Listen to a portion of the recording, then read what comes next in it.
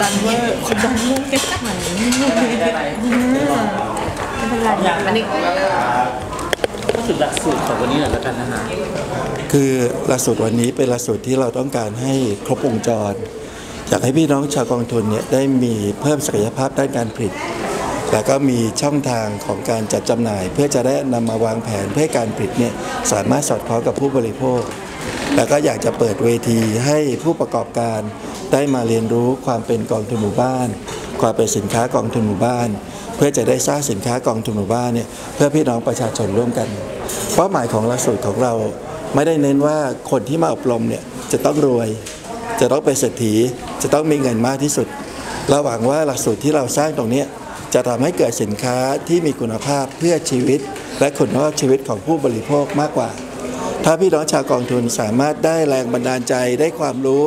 ไปสร้างสินค้าที่สินค้านั้นสามารถไปช่วยดูแลรักษาสุขภาพ ของพี่น้องประชาชนด้วยพวกได้มากที่สุดเท่าไหร่ ก็จะเป็นความสำเร็จและความภาคภูมิใจของหลักสูตรนี้มากที่สุดครับมีเกณฑ์การคัดเลือกผู้ประกอบการนะครับเอ่อกลุ่มที่มาเหล่านี้เนี่ยจะเป็นผู้แทนกองทุนหมู่บ้านที่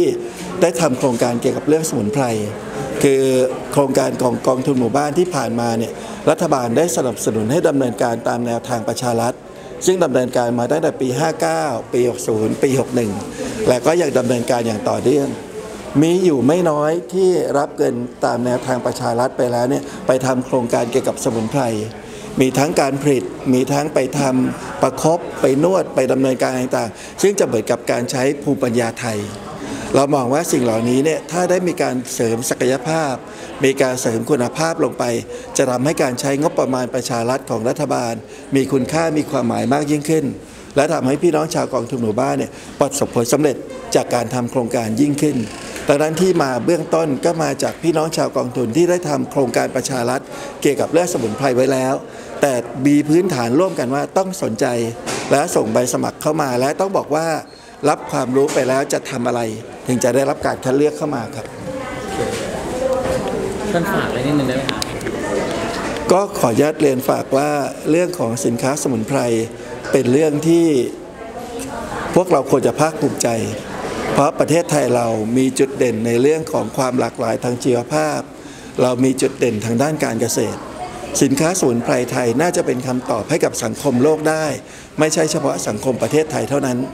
แต่ในเรื่องสินค้าสมุนไพรจึงไม่ใช่จะเป็นไม่ใช่เฉพาะเป็นเรื่องของกองทุนหมู่บ้าน แต่เป็นเรื่องของพี่น้องประชาชนทุกคนจะช่วยกันดูแลรักษาสิ่งเหล่านี้ที่เป็นภูมิปัญญาไทย ให้เกิดประโยชน์ยิ่งขึ้นต่อไปข้างหน้า ก็ขอเรียนฝากว่าในขณะที่กองทุนหมู่บ้าน ได้รวมพลังกันสร้างสินค้าสมุนไพรเพื่อจะดูแลรักษาดูแลสุขภาพเพิ่มคุณภาพชีวิตให้กับพี่น้องประชาชนนี้ ก็อยากเชิญชวนพี่น้องประชาชนได้มาร่วมให้กำลังใจ ให้มาสนับสนุน ให้มาร่วมปรับปรุงแนะนำทำให้สิ่งต่างๆ เหล่านี้เกิดประโยชน์อย่างแท้จริงต่อไปข้างหน้า แล้วก็ขอฝากพี่น้องชาวกองทุนหมู่บ้าน ย้ำเหมือนกับที่พวกเราอยู่ในหลักสูตรอบรมด้วยกัน ว่าเรามาทำหลักสูตรอบรม หรือทำสินค้าสมุนไพรนี้ เราไม่ได้ตั้งไว้ที่ตัวเลข ว่าเราจะได้รายได้เท่าไหร่ เราจะได้เงินเท่าไหร่